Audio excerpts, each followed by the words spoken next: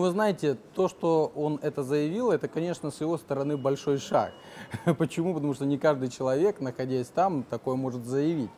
Согласитесь, я не уверен, э, что его могут сейчас и арестовать за такие заявления.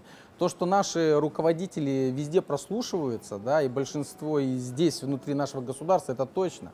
Давайте скажем, э, кто создатель, э, например, большинство интернет вот этих всех проектов. Это большинство все зарубежные силовые структуры, да, где наши все граждане, где наши все чиновники сидят. Это Twitter, да, это Facebook, это Контакт и так далее, и так далее.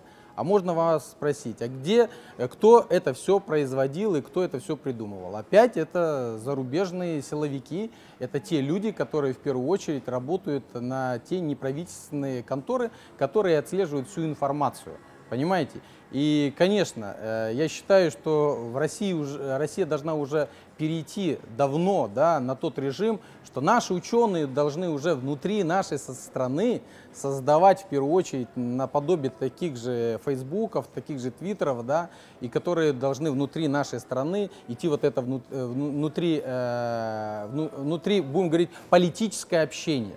То, что наших руководителей везде слушает, мы прекрасно это знаем. И я уверен, что э, те спецслужбы, которые слушают, они потом с этого изготавливают материал и потом уже, как говорится, делают удар непосредственно по э, внутри, э, э, э будем говорить, внутренней политике самой России. Понимаете? И я не уверен, что и нас, как депутатов, в том, в том же Твиттере, да, тоже папочку каждый день, каждый день, когда мы вылаживаем какую-то новую информацию для наших избирателей, это тоже куда-то откладывается, и потом на нас собирается какой-то либо компромат. Я считаю, что это нормальное явление для всех спецслужб.